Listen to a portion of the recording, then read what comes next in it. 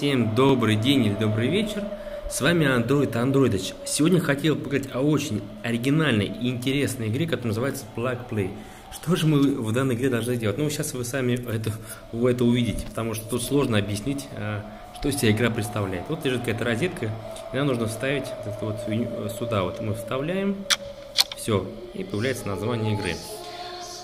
Очень оригинальная игра, вот в ней есть какая-то атмосфера, очень редко такие, я бы сказал, шедевральные игры выходят на Android, хоть и непонятно, что происходит, показывают каких-то два пальца, да, мы этим можем двумя пальцами вот так вот управлять.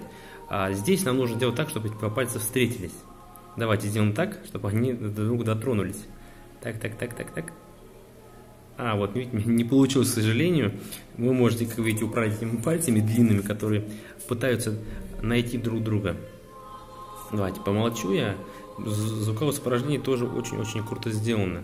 Хотя и графика в игре, ну вообще просто никакая, играть очень-очень интересно и увлекательно. Вот он а, дотронулся палец один другого. Потом показываю какого-то человечка, который бежит, мы вот так можем свайпать, да. Потом он куда-то убегает. То есть вот, она еще игра очень короткая. Я в нее буду сто процентов проходить, потому что реально а, такие игры очень редко выходят. Вот видите, он куда-то упал, мы можем вот так его поднять, он сам встает. Такое ощущение, что какой-то мы смотрим черно-белый мультфильм.